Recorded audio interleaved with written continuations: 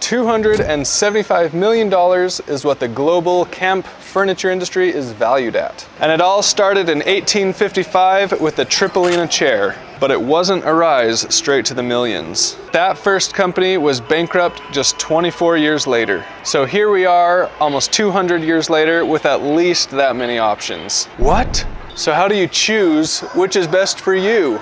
Let's take a page out of the Goldilocks story. But rather than only one that is just right, let's pick a small, medium, and large to look at. the great indoors.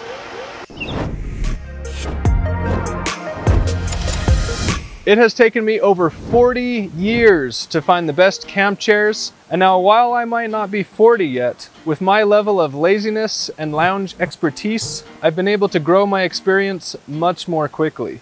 I think we're all tired of this basic chair.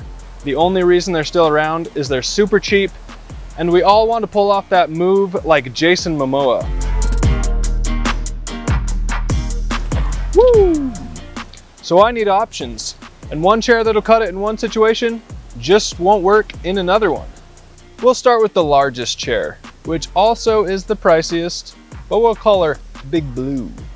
So what are the pros to this chair? Now, first and foremost, it's large and comfy. Second, it can recline all the way, which is awesome for fireworks shows or stargazing. So next up, you've got a side table, which detaches and attaches in the front.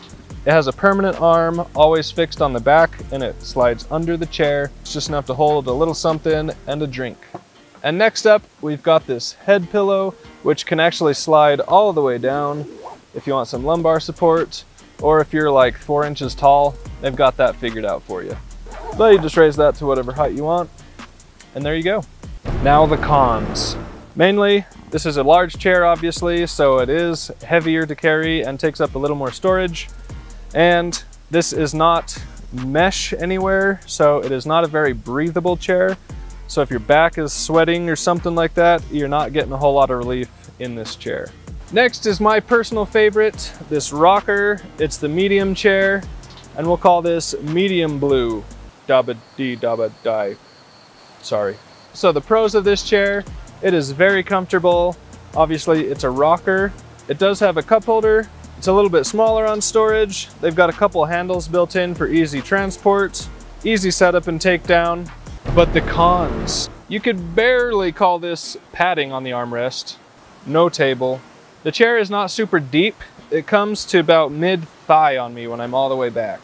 Last up, we have our small chair selection.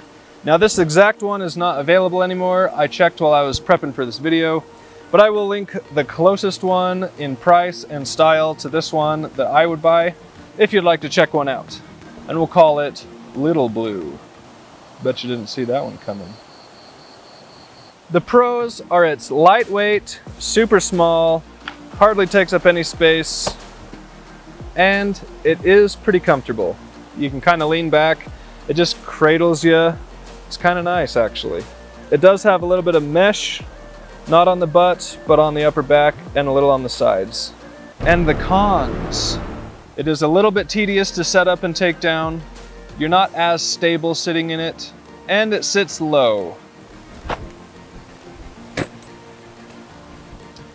But whatever you decide to get, just make sure to get at least two so it doesn't look like you're sitting alone in the woods.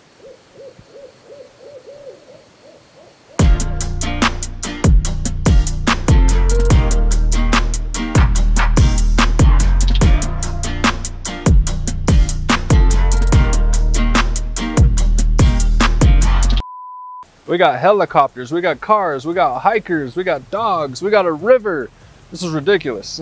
Just trying to film a video here.